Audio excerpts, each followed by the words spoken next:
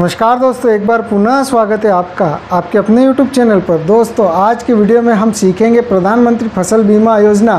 खरीद 2024 के जो आवेदन फॉर्म भरे जा रहे हैं आवेदन फॉर्म हम कैसे ऑनलाइन करेंगे, इसमें हमें क्या दस्तावेज़ लगेंगे, संपूर्ण जानकारी हम आपको आगे वीडियो में विस्तारपूर्वक स्टेप बाय स्टेप देंगे। तो दोस्तों, वीडियो शुरू करने से पहले यदि आप हमारे चैनल पर नए तो हमारे चैनल को सब्सक्राइब करें, बेल आइकन को ज़रूर दबाएँ, जिससे हमारे आने वाले वीडियो के नोटिफिकेशन आपको समय समय पर मिलते रहे। चलिए दोस्तों, वीडियो शुरू करते हैं। तो दोस्तों, प्रधानमंत्री फ़सल बीमा योजना के अंतर्गत जो खरीद 2024 में फ़सल बीमा के आवेदन फॉर्म भरे जा रहे हो आवेदन फॉर्म ऑनलाइन करने के लिए आपको सबसे पहले आपको डिजिटल सेवा पोर्टल के ऑफिशियल पोर्टल पर आना है। तो सीएससी के ऑफिशियल पोर्टल पर आपको आना ये वाले पोर्टल की लिंक हम वीडियो के डिस्क्रिप्शन में दे देंगे, जहाँ से आप डायरेक्ट ये वाले पोर्टल पर आकर आप अपना प्रधानमंत्री फ़सल बीमा खरीद 2024 का आवेदन कर सकते हैं। ये वाले पोर्टल पर आने के बाद में सिंपल से लॉगिन वाले ऑप्शन पर क्लिक करना है और यहाँ पर आपका जो भी सीएससी का यूज़र आईडी पासवर्ड है डिजिटल सेवा का वो यूज़र आईडी पासवर्ड देकर आपको इसको लॉगिन कर लेना। जैसे आप अपना यूज़र आईडी पासवर्ड देकर लॉगिन कर लोगे तो दोस्तों आप अपनी सी के ऑफिशियल पोर्टल पर, यानी कि अपने डैशबोर्ड पर आ जाओगे। कुछ इस तरीके से आपको डैशबोर्ड दिखेगा तो यहाँ पर आपको कुछ नहीं करना है। सिंपल से यहाँ पर सर्च बार पर आपको टाइप करना है। पीएमएफ तो यहाँ पर P M F B Y state under ये जो दिख रहा है इंश्योरेंस का, इस पर आपको क्लिक करना जैसे आप इस पर क्लिक करोगे तो एक नई टेप खुलकर सामने आएगी। प्रधानमंत्री फ़सल बीमा योजना।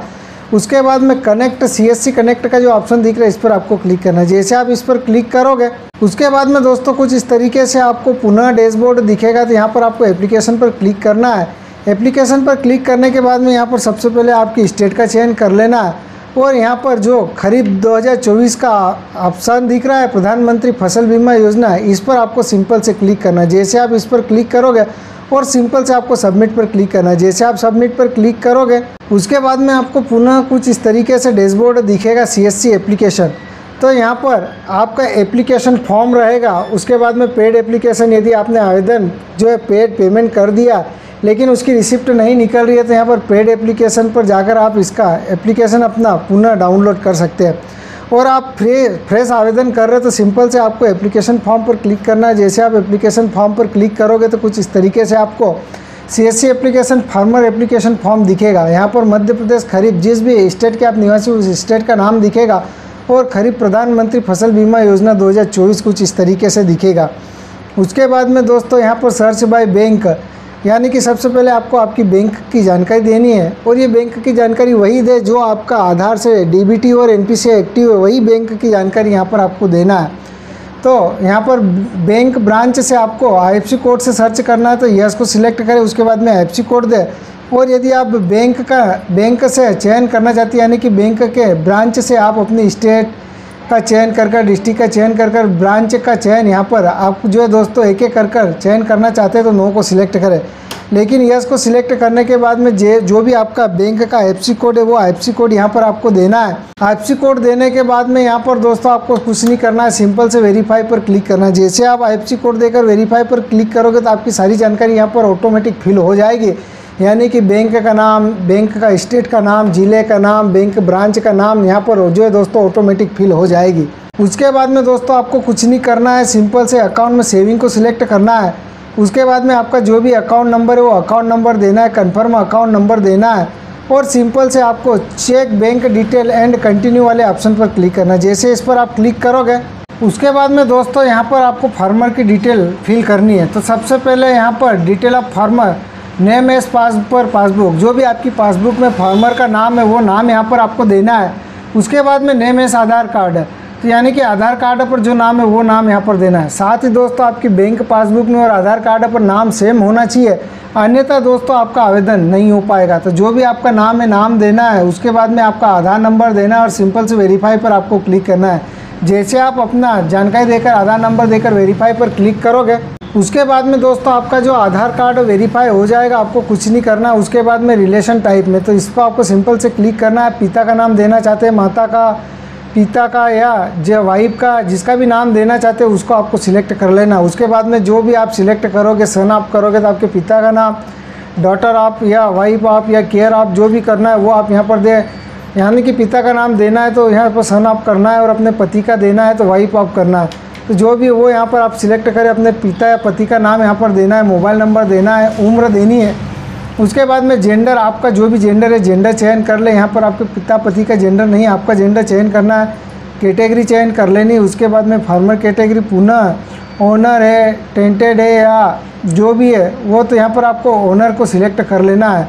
यदि आप रेंटेड हो या जो भी है, उस, वो है तो आप उनका चयन करें, अन्यथा आप ओनर का चयन कर लें।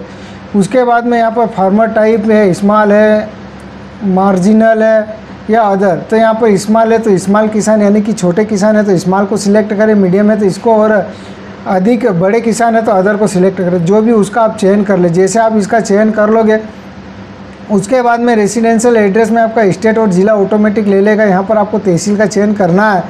उसके बाद में आपके गाँव का नाम देना है, पिन कोड देना है और आपका पूरा पता यहाँ पर आपको देना है. उसके बाद में आपका नॉमिनी की जानकारी आप देना चाहते हैं तो ये दे अन्यथा यहाँ पर डिक्लेयर नॉमिनी लेटर को आप सिलेक्ट कर लें। और यदि आप नॉमिनी की जानकारी देना तो यहाँ पर दे अन्यथा इसको सिलेक्ट करने के बाद में आपको सिंपल से सेवन कंटिन्यू पर क्लिक करना जैसे आप सेवन कंटिन्यू पर क्लिक करोगे, उसके बाद में दोस्तों कुछ इस तरीके से फार्मर एप्लीकेशन पुनः यहाँ पर सेकेंड स्टेप पर आ जाओगे। यहाँ पर क्रॉप डिटेल भरनी, यानी कि आपकी जो फ़सल की जानकारी वो फिल करनी। तो सबसे पहले यहाँ पर आपको स्टेट ऑटोमेटिक ले लेगा, ज़िले का चयन करना है। उसके बाद में आपकी तहसील का चयन कर लेना है, उसके बाद में आपका गाँव का नाम यहाँ पर आप चयन कर ले। तो जो भी आपकी जानकारी आपकी पावती है, उस पावती के अनुसार यहाँ पर जानकारी चयन कर लेनी है। उसके बाद में दोस्तों यहाँ पर आपको मिक्स क्रॉप है तो चेक बॉक्स आपको क्लिक करना है नहीं तो इसको छोड़ दे। उसके बाद में क्रॉप में जैसे आप ग्रीन, ग्रेम, मूंग मक्का, कपास या भट्ट, यानी कि सोयाबीन, जो भी आपकी खेती में लगा, जिसका बीमा करना चाहते, जो जिस भी फ़सल का करना चाहते, उसको चयन कर ले। उसके बाद में यहाँ पर सोइंग स्टार्ट डेट यानी कि आपने फ़सल कब बोई थी, वो बोई, बुआई की दिनांक यहाँ पर आपको देनी है।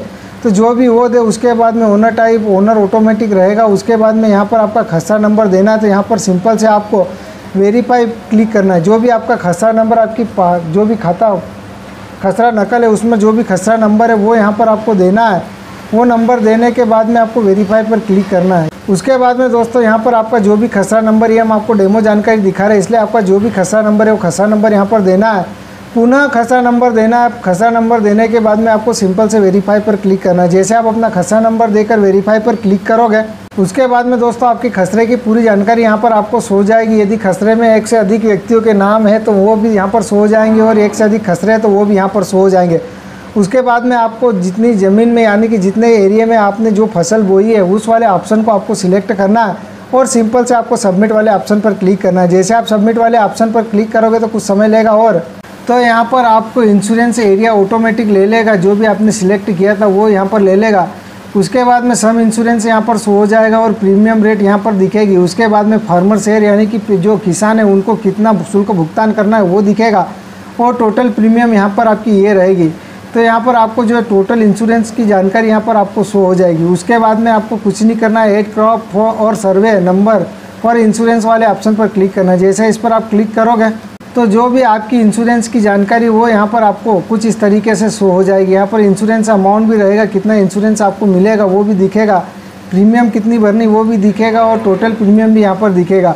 उसके बाद में एप्लीकेशन डॉक्यूमेंट तो यहाँ पर सबसे पहले आपकी बैंक पासबुक जो भी, उसको आपको स्कैन कर कर चूज़ फ़ाइल पर क्लिक कर कर अपलोड करना है।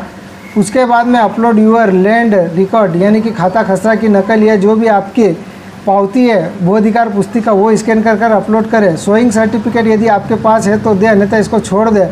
और ये सर्टिफिकेट टेनेंट सर्टिफिकेट यदि आपके पास है तो दे, नहीं तो इसको भी आप छोड़ दें। उसके बाद में यहाँ पर आपके जो डॉक्यूमेंट है वो अपलोड हो जाएँगे। उसके बाद में आपको प्री वाले ऑप्शन पर क्लिक करना है। जैसे आप प्री वाले ऑप्शन पर क्लिक करोगे, उसके बाद में दोस्तों आपको एक प्री पेज शो होगा। वो प्री पेज आप चेक कर ले, इसमें सारी जानकारी आप मिलान कर ले, अच्छे से चेक कर ले, अच्छे से वेरीफाई कर ले, अच्छे से रिमार्क कर ले। उसके बाद में आपको स्क्रोल कर कर सबसे नीचे आना है।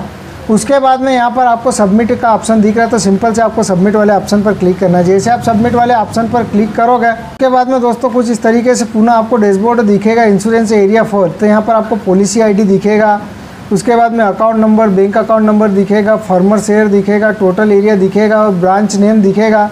उसके बाद में क्रॉप का नाम दिखेगा और सिंपल से आपको मेक पेमेंट वाले ऑप्शन पर क्लिक करना है। जैसे आप मेक पेमेंट वाले ऑप्शन पर क्लिक करेंगे तो आपके जो भी सीएससी का आईडी पासवर्ड है वो यानी कि जो भी आपका सीएससी का ट्रांजेक्शन पासवर्ड है, वो देकर आपको जो अपना इसका पेमेंट भुगतान कर ले। पेमेंट भुगतान जैसे आप कर लोगे, उसके बाद में आपको एक रसीद जनरेट होगी। वो रसीद यानी कि इंश्योरेंस की पॉलिसी रहेगी।